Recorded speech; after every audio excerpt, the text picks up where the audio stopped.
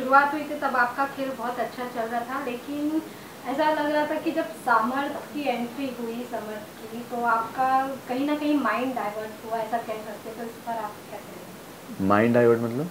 वो तो mind divert तो ऐसे तो पता है मतलब पर ऐसा कोई माइंड डाइवर्ट नहीं हुआ, वो बस बस वो सिचुएशन ऐसी आई थी कि वो मैं उसको हैंडल नहीं कर पाया एक दो दिनों के लिए, कि मैं सोच ही नहीं पाया कि क्या हो रहा है मेरे साथ। पर मैंने बहुत जल्दी उस चीज़ को ओवरकम किया और मैं फिर से गेम में वापस आ गया था।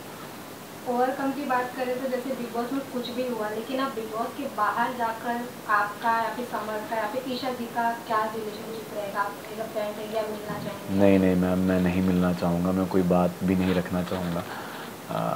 मैं अपने आप पे फोकस करना चाहता हूँ उन पे नहीं। आज ईशा मार्गी से यही क्वेश्चन यही क्वेश्चन किया गया कि अभिषेक ने बोला है कि मैं उनसे नहीं मिलना चाहूँगा लेकिन वो बोल रही थी अगर मुझे वो कहीं देखेगा इग्नोर करेगा अगर मुझसे बात करने का मैं तो करूँगी मैं इग्नोर नहीं करती? ऑब्वियसली मैं भी इग्नोर नहीं करूँगा। अगर मुझे कहीं मिलेंगी तो मैं भी बात करूँगा ऐसे नहीं कि ऐसे निकल जाऊँगा। मैं भी हाई हेलो तो करूँगा बट मैं उनको एक टॉकिंग टर्म्स में मैं नहीं रहना चाहता हूँ। बात करेंगे आपकी सबसे परफेक्ट गर्ल की खानदानी की। उनसे अभी निकलने के बाद बात हुई या फिर कुछ मेरी परफेक्ट गर्ल नहीं है वो वैसे परफेक्ट हैं। वैसे परफेक्ट हैं एक्चुअली और आ, मेरी बात नहीं हुई है पर मैं जल्दी उनसे बात करूँगा फ्री होके।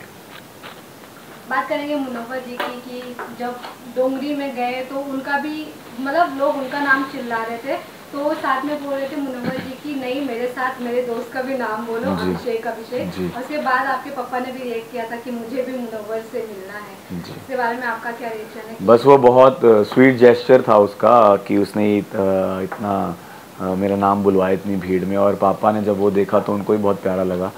तो इसलिए पापा ने बोला मुझे मिलवाओ उससे। पर पापा को जाना था वापस पंजाब तो वीडियो कॉल पे बात हुई थी मुनावर के साथ